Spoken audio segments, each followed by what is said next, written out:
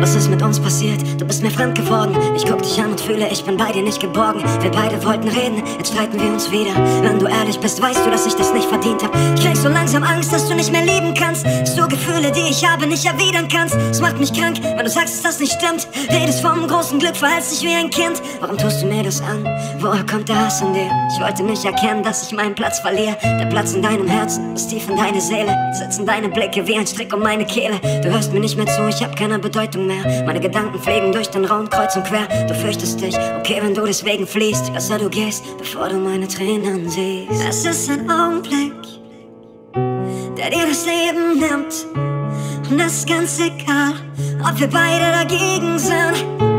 Denn unser aller Schicksal, wir warten auf den Tag. Und der Verlust wird kommen, wie der Nagel in den Sarg. No.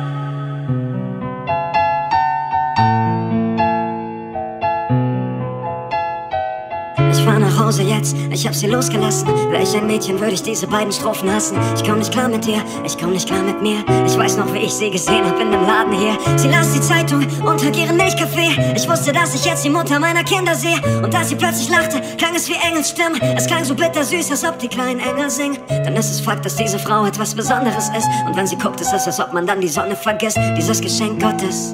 Und man vermisst eine Person ist plötzlich dann, wenn der Moment fort ist, wenn man einen Anruf kriegt und sie im Koma liegt. Sollte ich runter, als ob man gar kein Koker zieht. Ich hau ein Loch in die Wand mit der blanken Faust. Ich hab Angst vor der Fahrt ins Krankenhaus.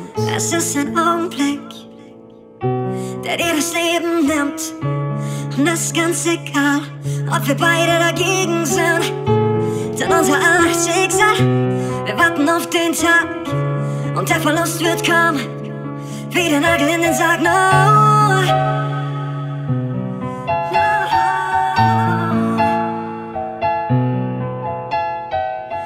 Glaub, du kannst mich hören, ich bin jetzt hier bei dir. Wir beide wissen, zwischen uns beiden ist viel passiert. Wie du hier liegen musst, künstlich beatmet wirst. Egal was war, heute bleib ich, bis dein Atem stirbt. Die Mediziner sagen, heute wirst du von uns gehen. Ich höre dein schwaches Herz schlagen und mir kommen die Tränen. Ich wollte noch so viel sagen, ich wollte es in Ordnung bringen. Ich wollte, dass du merkst, wie ernst mir diese Worte sind. Ich weiß, die Engel werden gut für deine Seele sorgen. Und auch ein Schmetterling wird kommen wie an jenem Morgen. Lass deine Ängste hier, nimm meine Hoffnung mit. Ich weiß, für jeden Menschen ist der Tod ein Kompromiss. Ich würde mein Herz geben, ich würde dich bis in den Himmel tragen, schlafen legen und den Schmerz nehmen. Doch das ist deine Reise, ich kann dich nicht begleiten. Gott will, dass ich bei dieser Reise nicht dabei bin. Es ist ein Augenblick, der dir das Leben nimmt. Und es ist ganz egal, ob wir beide dagegen sind.